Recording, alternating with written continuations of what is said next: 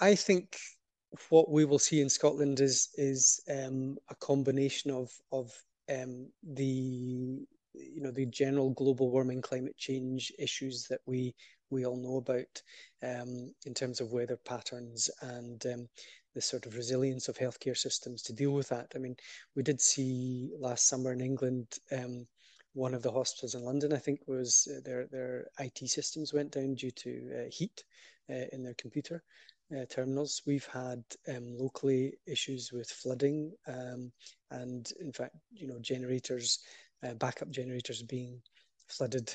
Um, uh, so, so we need to be aware of these types of things. But I think um, the wider picture about um, environmental harm um, is more likely to come in Scotland from things such as uh, uh, pharmaceuticals in the environment and effect on biodiversity.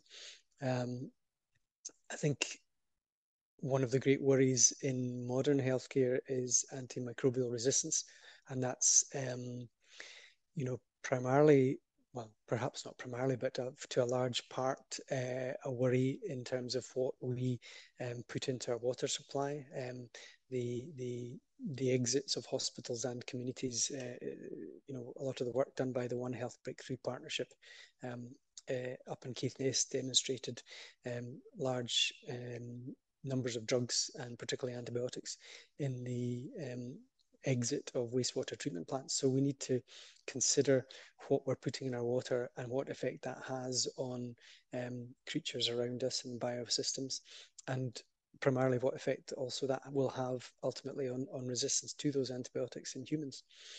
Um, we may be um, well, I've heard before people saying we're living in in uh, golden times in terms of being able to treat infectious diseases, and that might not be the case uh, again in the future.